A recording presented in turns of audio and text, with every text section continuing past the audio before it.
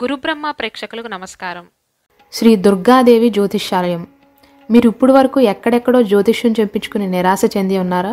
అయితే ఒక్కసారి ఈ గురువుగారికి ఫోన్ కాల్ చేసి చూడండి. ప్రేమ పెళ్ళి ఉద్యోగం రాజకీయం విదేశీ ప్రయాణం ధనం నిలకడగా లేకపోవటం భార్యాభర్తల మధ్య గొడవలు ఆస్తి తగాదాలు అప్పుల బాధలు స్త్రీ పురుషుల ఎలాంటి గుప్త సమస్యలకైనా ఎటువంటి సమస్యలకైనా ఒక్క రోజులోనే పరిష్కారం చూపుతారు. వీరు phone number nine five four two six three seven two zero six. Interest ఉన్న వాళ్ళు ఎవరైనా ఏ టైంలోనైనా వీరు కాల్ చేయవచ్చు. మన గురుబ్రహ్మ ఛానల్లో ఇంతకుముందు రెండు వేల ఇరవై మూడో సంవత్సరంలో కన్యా రాశిలో జన్మించిన స్త్రీ పురుషులకు స్థిరాస్తి యోగం వాహన యోగం సంతాన యోగం అలాగే వృత్తి వ్యాపార ఉద్యోగ విద్యా విషయాల్లో ఎలా ఉండబోతుందో వివరించి ఒక వీడియో చేశాను. అయితే ఆ వీడియోలో ఆదాయ వ్యయాల గురించి రాజపూజ అవమానాల గురించి చెప్పడం మర్చిపోయాను. దాని గురించి మన గురుబ్రహ్మ ఛానల్ ప్రేక్షకులు కింద కమెంట్ చేశారు. వారి కోసం ఈ వీడియో చేస్తున్నాను.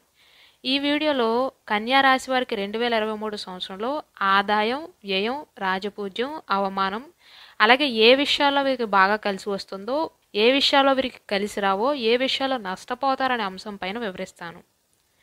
ముందుగా కన్యా రాశి అంటే ఉత్తర నక్షత్రంలోని రెండు మూడు నాలుగు పాదాలు హస్త నక్షత్రంలోని అన్ని పాదాలు చిత్తా నక్షత్రం ఒకటి రెండు పాదాల్లో జన్మించిన వారందరూ కూడా కన్యారాశికి చెందుతారు. ఈ ఫలితాలన్నీ కూడా వీరందరికీ వర్తిస్తాయి. ముందుగా వీరికి ఆదాయం వ్యయం గురించి చెప్పుకుంటే ఆదాయం రెండు వ్యయం పదకొండుగా ఉంటుంది.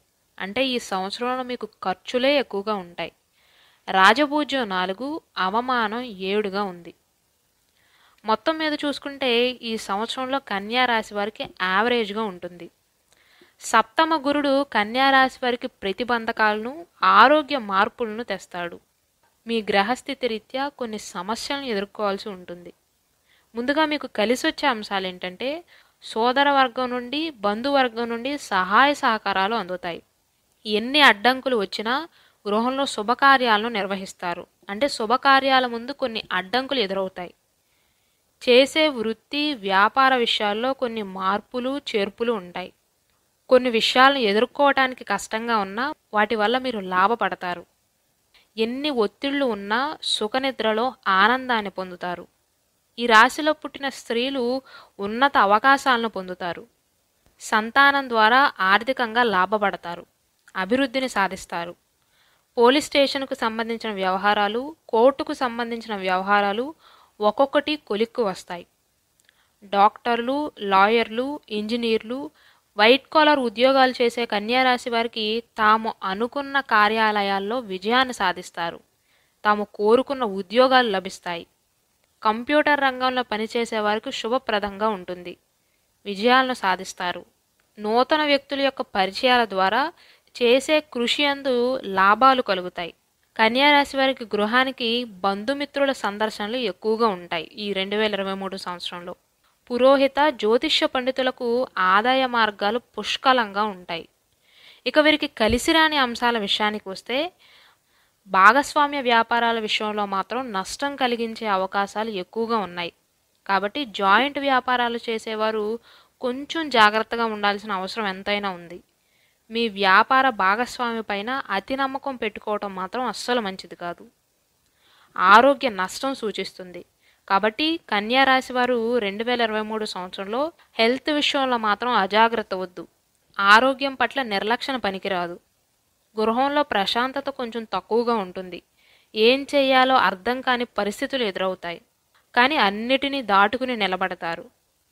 కుటుంబ తగాదాల వల్ల మనశ్శాంతి తక్కువగా ఉంటుంది. కాబట్టి ప్రతి విషయం గురించి పట్టించుకోకపోవటమే ఉత్తమం. సమాజంలో అందరూ ఏమనుకుంటారో అనే ధోరణిలో మాత్రం ఆలోచించటం మార్చుకోవాలి. అలాగే రెండు వేల ఇరవై మూడు సంవత్సరంలో ఆవేశం వల్ల ఆలోచించకుండా తీసుకున్న నిర్ణయాల వల్ల ధన వ్యయం ఎక్కువగా ఉంటుంది. సంఘంలో చేయని తప్పుకు అవమానాలను ఎదుర్కోవాల్సి ఉంటుంది. వ్యవసాయదారులకు పంటలు పండుతాయి. కానీ పండించిన పంట యొక్క ఆదాయం చేతికి రావటం కష్టంగా ఉంటుంది. స్త్రీల వలన ప్రమాదాలు జరగటానికి ఎక్కువగా అవకాశాలు ఉన్నాయి అలాగే రెండు వేల ఇరవై మూడు సంవత్సరంలో కన్యా రాశి వారి జీవిత భాగస్వామికి శస్త్రచికిత్సలు చేయాల్సి రావచ్చు. వారి ఆరోగ్య విషయంలో జాగ్రత్తగా ఉండాల్సిన అవసరం ఎంతైనా ఉంది. ఫిబ్రవరి మాసంలో మీ మతిమరుపు వల్ల అంటే ముఖ్యమైన విషయాన్ని గుర్తుంచుకోలేకపోవటం వల్ల ధన నష్టం సూచిస్తుంది. జనవరి మాసంలో నూతన వస్త్రాలు బంగారు ఆభరణాలను కొనుగోలు చేస్తారు. ఆకస్మిక ధనలాభం ఉంటుంది. కార్యజయం కలుగుతుంది. ఫిబ్రవరి మాసంలో సమస్యలు పరిష్కారం అవుతాయి గృహంలో సంతోషకరమైన వాతావరణం ఉంటుంది. మార్చి మాసంలో మాత్రం కొంచెం జాగ్రత్తగా ఉండాల్సిన అవసరం ఎంతైనా ఉంది. ఎందుకంటే కన్యా రాశి వారికి కొత్త వ్యక్తి వల్ల దూర వ్యక్తి యొక్క పరిచయం వల్ల నష్టం జరిగే అవకాశాలు ఎక్కువగా ఉన్నాయి. కాబట్టి మార్చి మాసంలో మీకు ఎవరైనా కొత్తగా పరిచయం అయితే వారితో కాస్త జాగ్రత్తగా ఉండండి. ఏప్రిల్ మాసంలో ఇష్టకార్య సిద్ధి కలుగును. మే మాసంలో సంసార సౌఖ్యం ఉంటుంది. సంతానానికి మంచి విద్యాభివృద్ధి కలుగుతుంది. జూన్ మాసంలో పుత్ర సంతానం వల్ల ధనలాభం కలుగుతుంది. అలాగే పలుకుబడి ఉన్న ఉన్నత వ్యక్తులతో పరిచయాలు ఏర్పడతాయి. జూలై మాసంలో వృత్తి వ్యాపారాల్లో చిన్న చిన్న అపశృతులు ఉంటాయి. కాబట్టి ఆ విషయాల్లో కొంచెం జాగ్రత్తగా ఉండాలి.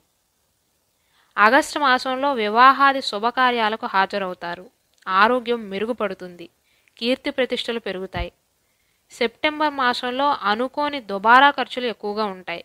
కాబట్టి సెప్టెంబర్ మాసంలో డబ్బు విషయంలో చాలా జాగ్రత్తగా ఉండాలి. రూపాయి పెట్టాల్సిన చోట రెండు రూపాయలు పెట్టాల్సిన అవసరం ఉంటుంది. అక్టోబర్ మాసంలో గృహంలో పండగ వాతావరణం నెలకొంటుంది. విందు వినోదాలకు ఆడంబరాలకు ధన వ్యయం చేస్తారు. నరఘోష ఎక్కువగా ఉంటుంది. నవంబర్ మాసంలో నిదానంగా మాట్లాడటం మంచిది. అంటే గొడవల్లో తలదూర్చకుండా ఉండటం మంచిది. డిసెంబర్ మాసంలో దూర ప్రాంత ప్రయాణాలు చేయాల్సి వస్తుంది. ఆ ప్రయాణాల వల్ల అనారోగ్యానికి గురవుతారు. కాబట్టి నవంబర్ డిసెంబర్ మాసంలో కొంచెం జాగ్రత్తగా ఉంటే సరిపోతుంది. అలాగే రాశిలో జన్మించిన జాతకులు అంటే స్త్రీలు పురుషులు రాహుగ్రహ జపశాంతులు చేయించటం దుర్గామాతకు పూజలు చేయించటం చండీ పారాయణం చేయించటం మంచిది. అలాగే రెండు వేల ఇరవై మూడు సంవత్సరంలో కన్యారాశి వారికి కలిసి వచ్చే వారాలు ఏంటంటే మంగళవారం బుధవారం శుక్రవారాలు వీరికి బాగా కలిసి వస్తాయి. అలాగే మన గురుబ్రహ్మ ఛానల్లో కన్యారాశిలో జన్మించిన స్త్రీ పురుషుల లక్షణాల గురించి కన్యారాశిలో ఉన్న మూడు నక్షత్రాల వారి స్వభావం గురించి కన్యారాశి వారు వారి జీవిత భాగస్వామితో ఎలా ప్రవర్తిస్తారనే అంశం గురించి కన్యారాశి వారికి జాన్వరి పదిహేడవ తారీఖున జరగబోతున్న శని యొక్క సంచారం వల్ల శుభ ఫలితాలు ఉంటాయా లేక అశుభ ఫలితాలు అంశం పైన కన్యారాశి వారికి రెండు వేల ఇరవై మూడు సంవత్సరంలో రంగాల వారీగా సంతాన పరంగా ఎలా ఉంటుంది వృత్తిపరంగా ఎలా ఉంటుంది వ్యాపార పరంగా ఎలా ఉంటుంది స్థిరాస్తి యోగం ఉందా లేదా వాహన యోగం ఉందా లేదా అలాగే ఉద్యోగస్తులకు విద్యార్థులకు ఎలా ఉండబోతుందనే అంశం పైన ఒక వీడియో చేశాము. దయచేసి వాటిని కూడా వీక్షించండి. అలాగే మన గురు బ్రహ్మ ఛానల్లో ప్రతి నెల కూడా రాశి ఫలాలను అప్లోడ్ చేస్తాము.